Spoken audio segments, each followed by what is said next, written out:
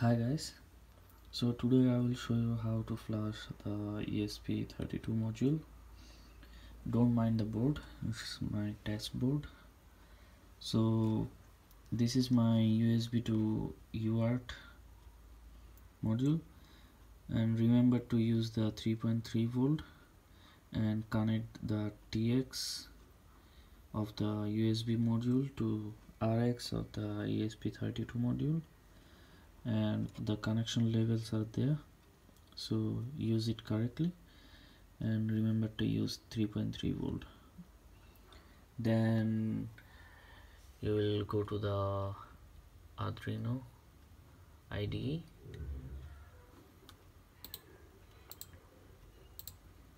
then you should use the tool. Then select the right board ESP32 this one and upload speed doesn't matter. And upload mode to UART 0 this. And the port you will get the port when you connect your module USB to serial module. And then click this one serial monitor then you will get this. So first you should click the reset then you will see here the text will update. Here.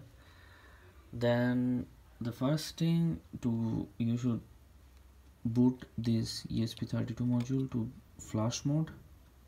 So how you will do it is hold the reset and the boot then release the reset button then hold the boot button then you will get this message.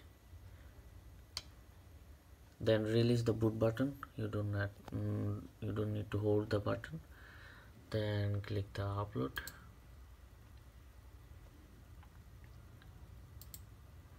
Then it will compile the code.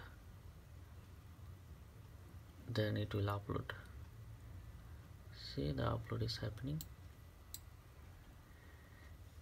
make sure you get this uh, text in the serial port and you will get this, this text first hold the reset button then the boot button then release the reset then hold on to the boot button until you see the the text in the serial port.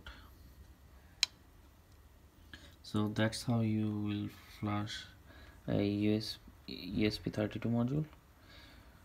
Okay see you guys later